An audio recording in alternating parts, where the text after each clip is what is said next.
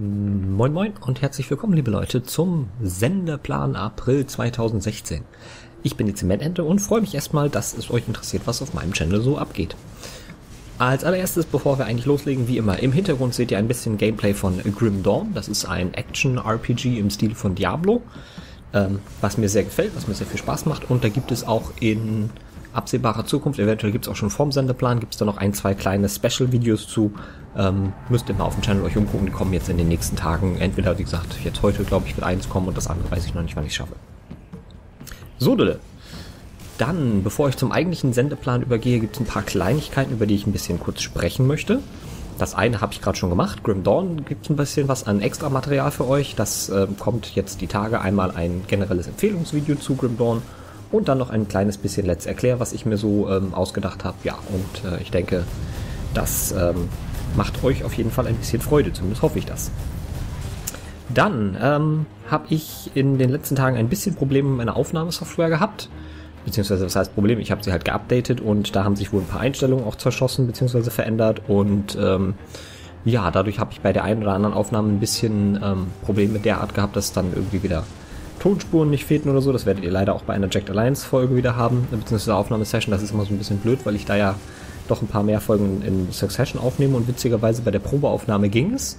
Und als ich dann äh, das eigentliche, die eigentliche Aufnahme start, hatte den Ton wieder nicht aufgenommen. Das ist ein bisschen verworren und verwirrt. Ähm, ich habe auch noch nicht so ganz hundertprozentig raus, woran es lag, aber ich habe jetzt zumindest, glaube ich, einen Fix gefunden, wie ich es gelöst kriege. kriege. Ich hoffe jedenfalls, dass es auch bei Jack the Lions nachher klappt. Das ist ja so ein bisschen was Besonderes mit seiner DOS-Box und allem. Dann ähm, wollte ich euch noch darauf hinweisen, dass ich vor einigen Tagen ein kurzes Ente Sneak Peek gemacht habe, nämlich zu Vulcan, Lords of Mayhem oder auch Umbra, wie es damals im Kickstarter-Projekt hieß. Falls ihr das noch nicht gesehen habt und euch für Action-RPGs interessiert, das sieht echt vielversprechend aus. Ähm, auch wenn es eben noch in der allerersten Alpha-Phase steht und noch so seine kleinen, äh, ja, ne, Startschwierigkeiten hat. Aber es ist eben auch noch Alpha, Alpha, Alpha, Alpha. So, dann äh, zum Sendeplan, zum eigentlichen. Da gibt es zweierlei Dinge, die aktuell laufen und über die ich kurz reden möchte. Zum einen habe ich äh, zwischengeschoben ein äh, Kurzprojekt mit Day of the Tentacle Remastered. Das läuft bereits auf dem Channel auf dem 15 Uhr Slot und wird noch laufen. Lasst mich mal auf meinen schlauen Zettel gucken. Wird noch laufen bis zum 6. April läuft das noch. Das heißt, da habe ich mal eben schnell ähm, mir die Remastered-Version eines der besten Adventures aller Zeiten geschnappt und das wird noch gezockt. Dann läuft immer noch auf dem Channel Jacked Alliance. Jacked Alliance wird uns auch noch ein kleines bisschen begleiten. Ich habe jetzt Material aufgenommen, das hält noch ein paar Tage bis zum 8. oder 7. oder sowas. Ich habe es jetzt nicht genau im Kopf. Aber ich bin auch noch nicht durch. Das heißt, äh, wir stehen vor den letzten Sektoren des Spiels und äh, ja, äh, arbeiten uns daran vor, voran. Ähm, aber es, ist, es liegt in den letzten Zügen. Ich denke, in Ingame-Tagen dürfte das noch so auf äh, irgendwas zwischen drei und fünf Ingame-Tage hinauslaufen. Aber aus einem Ingame-Tag hole ich ja immer mehrere Folgen raus, äh, was wiederum also insofern bedeutet, dass da noch einiges an Folgen und Material für ein paar Jacked Alliance Folgen ist. Was mich sehr freut, denn das Spiel ist wirklich toll und ähm, ist auch bei euch ja ganz okay angekommen. Anfangs war die Begeisterung höher, jetzt mittlerweile, weil es doch schon recht viele Folgen sind, äh, lässt sie so ein bisschen nach, was ich schade finde, denn es ist ein wirklich schöner Klassiker, der seinen, seine Aufmerksamkeit verdient hätte. Naja, und ähm, ich mache mir natürlich mittlerweile auch schon Gedanken, so was kommt denn mal nach Jacked Alliance und da bin ich momentan noch so ein bisschen unschlüssig. Ähm, ich bin ganz glücklich, dass ich zumindest bis Mitte, Ende April mir da auch noch nicht so die Gedanken zu machen muss.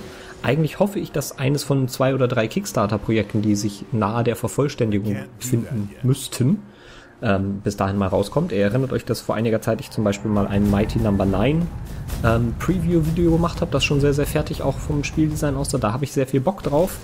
Aber da war der offizielle Release Anfang Februar und da ist er dann nochmal verschoben worden und seitdem hört man nichts mehr vom Projekt. Was bei so Kickstarter-Projekten natürlich auch mal passieren kann. Aber ja, insofern, das ist zum Beispiel so ein Spiel, wo ich auf den Release warte und wenn das ähm, in dieser Zeitspanne irgendwo released würde, würde ich mich da sicherlich dran setzen, das zu zocken. Ähm, und ja, das wäre dann so das nächste Projekt. Wenn das nicht so ist, dann würde ich aus meiner Liste ähm, an Spielen mal gucken, was ich da so finde. Ich denke, nachdem wir jetzt doch recht lange mit Jack Alliance so einen Strategietitel hatten und auch mit Dot eher so ein, ich sag mal, gemächlicheres Spiel, hätte ich mal wieder Bock auf was mit ein bisschen mehr Action. Und äh, ja, da können wir dann gemeinsam gucken, was wir finden, mal schauen. Ja, und das ist im Grunde genommen dann der Sendeplan für April. Keine großen Aprilwitze, kein Hin und Her, das ist äh, nicht so mein Stil.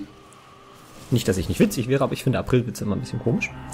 Naja, und ähm, also kurz zusammengefasst, Jacked Alliance läuft noch ein bisschen, ist jetzt äh, so in den finalen äh, Spielezügen, wird mich in Ingame-Zeit noch ein paar Stündchen kosten, aber auch nicht mehr mega viel.